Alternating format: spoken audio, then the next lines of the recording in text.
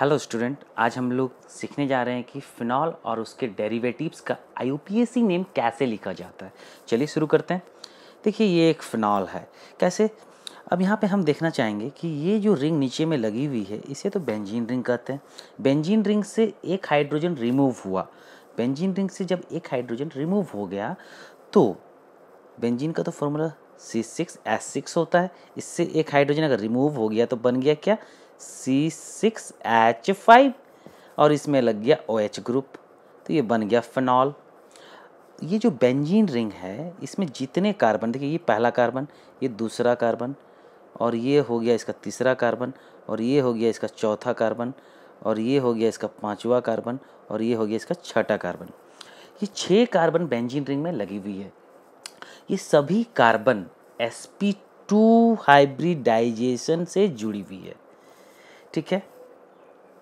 अब, चार sigma bond अगर होता है तो हाइब्रिडाइजेशन कार्बन का होता है sp3 तीन सिग्मा बॉन्ड अगर होगी तो हाइब्रिडाइजेशन होगा sp2 और दो सिग्मा बॉन्ड अगर होती है तो हाइब्रिडाइजेशन होता है sp sp sp2 और sp3 तीन अलग अलग जो हाइब्रिडाइजेशन कार्बन के हैं, इन सभी कार्बन में कुछ ना कुछ डिफरेंट कैरेक्टर ज़रूर होगा।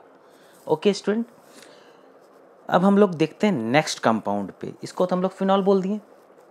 अब देखिए, ये एक कंपाउंड है। इसका आई नाम हमें लिखना है। मैं पहले बताना चाहूँगा कि जो फिनॉल है फिनॉल पे अगर कोई मिथाइल ग्रुप लग जाता है तो उसे हम लोग क्रैसोल भी बोलते हैं। देखिए, यहाँ सभी जगह ओ क्रेसोल एम क्रेसोल और पी क्रेसोल लिखा हुआ है। इसका कारण ये कि फिनॉल तो है, देखिए, सब जगह फिनॉल है। देखिए, यहाँ ये एक फिनॉल है, ये वाला एक फिनॉल है और ये वाला भी एक फिनॉल है। ठीक है? तो फिनॉल तो सभी जगह है कॉमन और साथ साथ मिथाइल का पोजिशन देखिए, यहाँ पे इस जगह में मिथाइल है, यहाँ पर भी इस जगह में मिथाइल है और यहाँ पे इस जगह में मिथाइल है। लेकिन ओ OH का पोजिशन देखिए, हर बार अलग अलग है। ओ OH का पोजिशन किस प्रकार से अलग अलग है देखिए।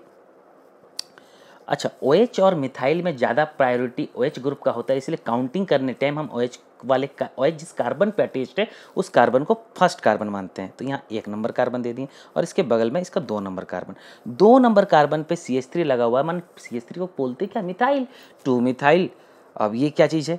नीचे वाला फिनॉल तो two methyl phenol okay student अब देखिए इसको देखते हैं। यहाँ पे ओ OH और सी एच थ्री फिर है। ओ OH ज़्यादा प्रायोरिटी वाला है तो ओ OH वाला को एक नंबर कार्बन दिए, उसके बाद दो नंबर उसके बाद तीन नंबर कार्बन और ये तीन नंबर को बोलेंगे थ्री मिथाइल और नीचे वाला क्या है ये? फिनॉल है तो थ्री मिथाइल फिनॉल अब देखिए यहाँ पे। यहाँ पे एक नंबर कार्बन ये, दो नंबर कार्बन ये, तीन नंबर कार्बन ये, चार नंबर कार्बन ये।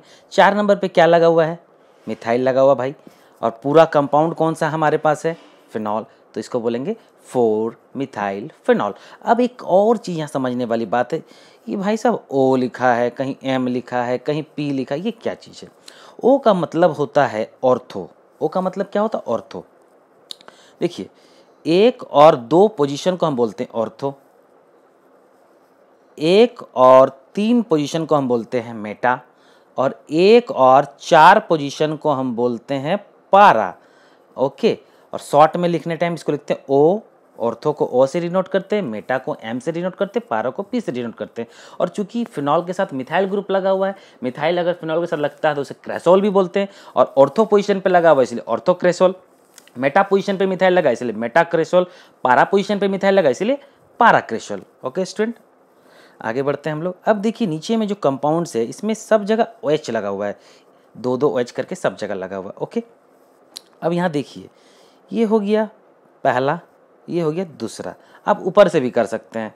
आप अगर चाहें तो ऐसा भी कर सकते हैं। इसको पहला मान लें और इसको दूसरा मान लें। उससे कोई फ़र्क नहीं पड़ रहा है यहाँ पे। तो इसको क्या बोलेंगे? बेंजीन रिंग तो नीचे में है। देखिए स्टूडेंट, ये वाला बेंजीन रिंग है। बेंजीन के साथ दो अल्टरनेट पोजीशन पे मतलब ऑर्थो पोजीशन पे ओ एच ग्रुप लगा हुआ है। तो इसको बोलेंगे बेंजीन वन टू डायोल। इसको क्या बोलेंगे? Benzene one three diol. एक नंबर कार्बन, दो नंबर कार्बन, तीन नंबर कार्बन। तो इसको बोलेंगे बेंजीन वन थ्री डायोल और इसको क्या बोलेंगे? बेंजीन वन फोर डायोल कैसे देखिए? अगर इसको एक नंबर कार्बन माने, इसको दो नंबर कार्बन माने, इसको तीन नंबर कार्बन माने तो इसको बोल सकते हैं बेंजीन वन फोर डायोल आप नीचे से भी काउंटिंग कर सकते थे। इन सब का कॉमन नाम आपको याद रखना पड़ेगा। ठीक है? बेंजीन वन टू डायोल को हम लोग बोलते हैं कैटाचॉल देखिए यहाँ लिखा हुआ कैटाचॉल इसको याद रखना पड़ेगा आपको। ओके अब यहाँ बेंजीन वन थ्री डायोल जो कि वन थ्री पोजिशन को हम मेटा भी बोलते हैं, इसको रेसोरसिनॉल बोला जा रहा और इसको बोला जाता है हाइड्रोक्यूनॉन और quinol okay student next class में मिलते